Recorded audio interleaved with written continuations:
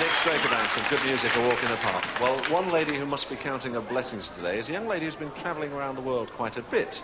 Recently, she was in Nashville and she was approached by a producer with Lawrence Stetson and asked if she'd like to audition for the part in a film called Breaking Glass. She did it, she got the part, and that's helped her on her way to no end, although not too many people have seen it yet. The lady's name, of course, is Hazel O'Connor, and here's the current number five sound from her called Eighth Day.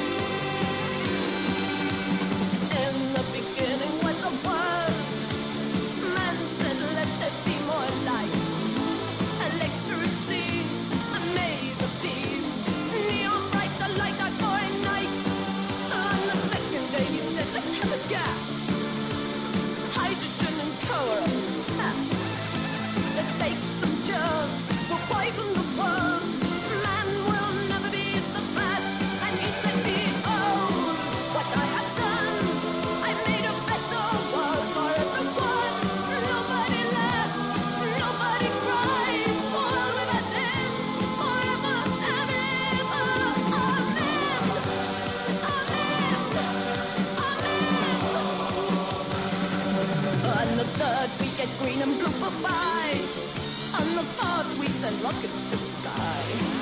On the fifth, metal beasts and submarines.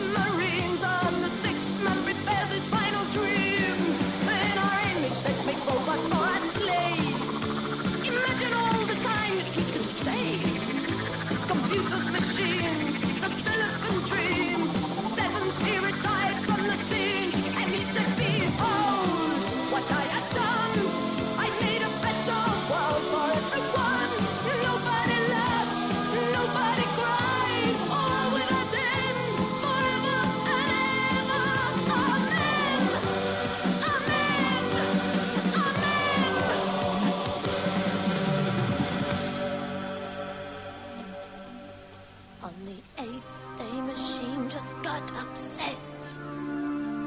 A problem man had never seen as yet. Time for flight, blinding light, nothing but a void forever night. He said, Behold.